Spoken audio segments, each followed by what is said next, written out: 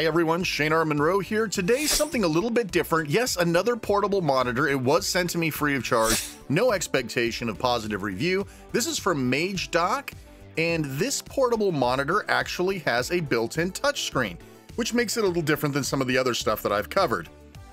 We have our standard manual, a power brick, a USB-C to USB-A cable for said power brick, and then we have a included HDMI cable, as well as a USB-C to USB-C cable. And let's open this guy up. Now, at first I was freaked out because there was all these scratches and stuff on the front and there was no obvious screen protector on here. Normally there's a little tab that says pull me or something on it. But in this case, I was kind of freaked out. It took me a while to actually figure that out.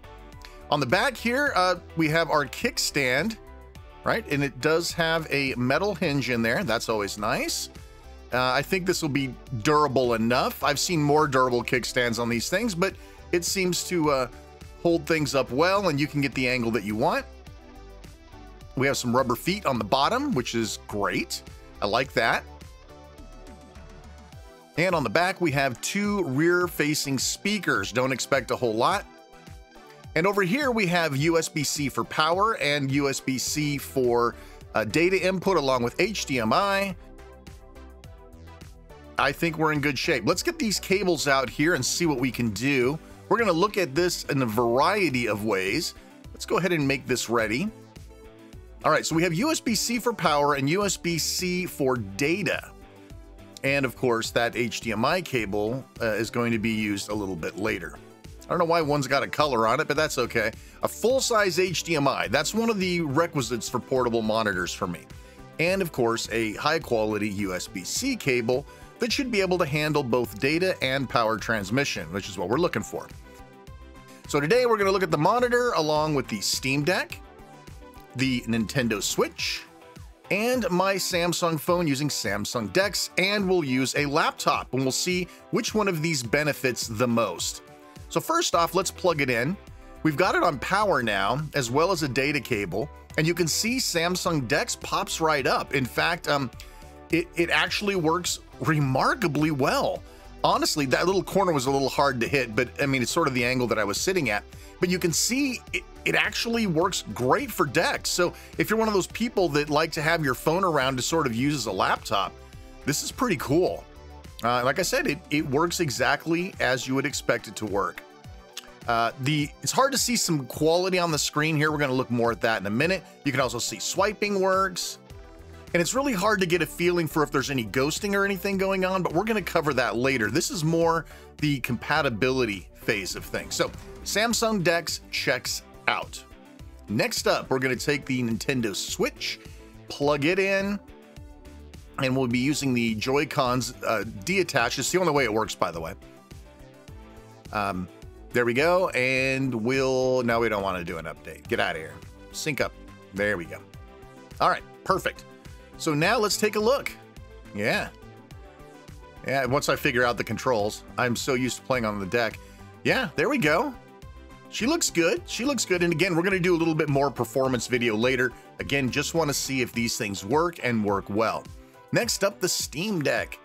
And yes, we do have a power input as well as the data cable. So we should be passing through power. And you can see right here, if I could stop touching the screen, you can see right here that the uh, the uh, charging time actually looks like what we would expect. Now, of course, I'm not going to trust it. I'm going to put this guy up to a USB-C power meter and make sure we're getting through the appropriate power.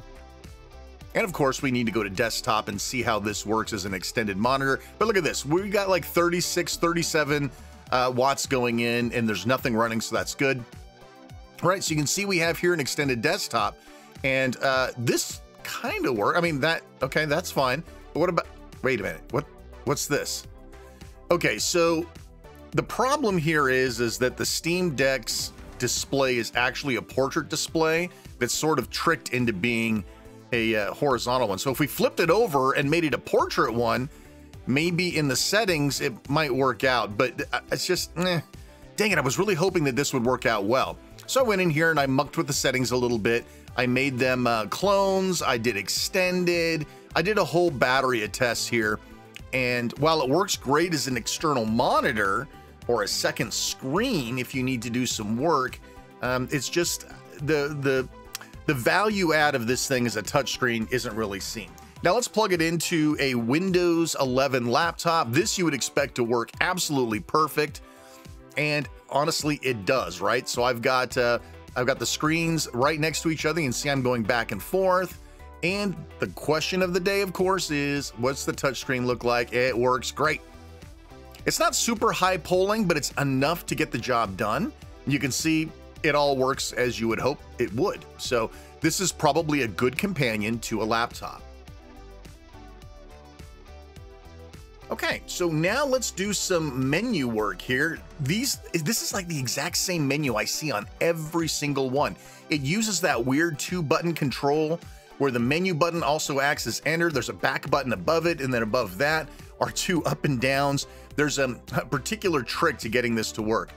Now we're looking at the brightness here because a lot of people want to know how dark can I get it? Well, that's how dark you can get it.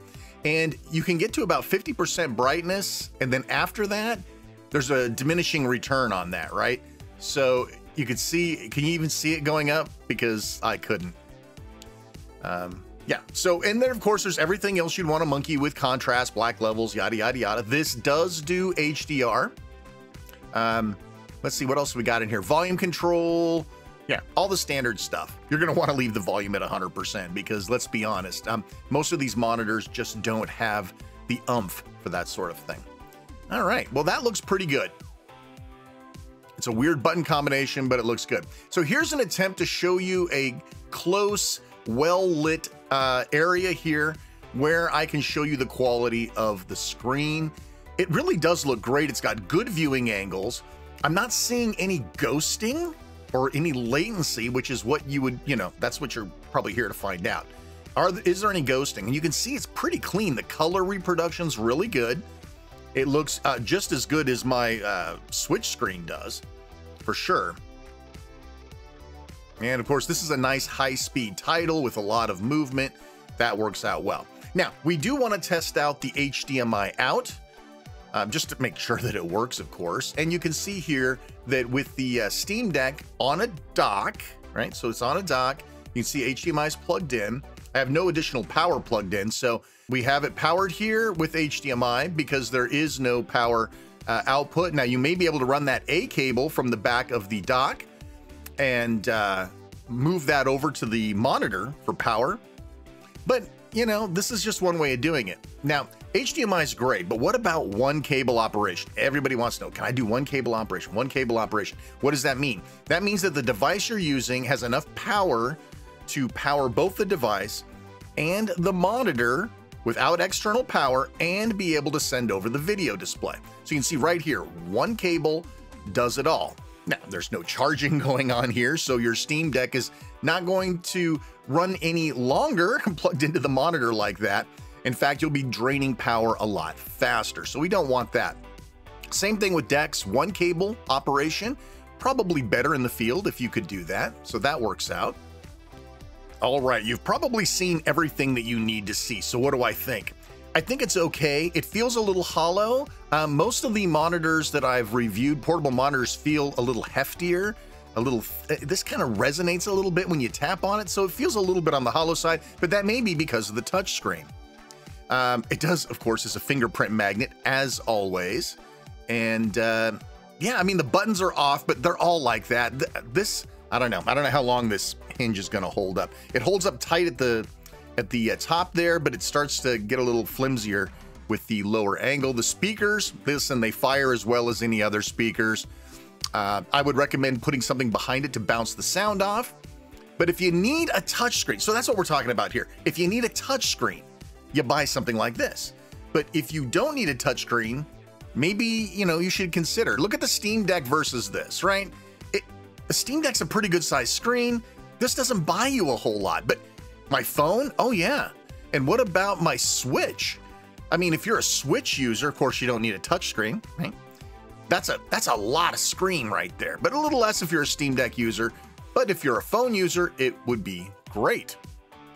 So yeah, here's the bottom line, right? You can get a quality monitor with just as good specs as this without the touchscreen for somewhere in the $100 range, maybe even a little bit less. But when you start adding a touchscreen to things, it starts to get a little bit more expensive. Now, I'd like to see this at about $129, but $150 is not crazy. It's a decent display that has good viewing angles, HDR, the whole bit, but is it what you need? Only you can decide. All right, I'm Shane R. Monroe. Thanks so much for watching. Like, subscribe, hit the bell, and we'll see you next time. Take care, everybody.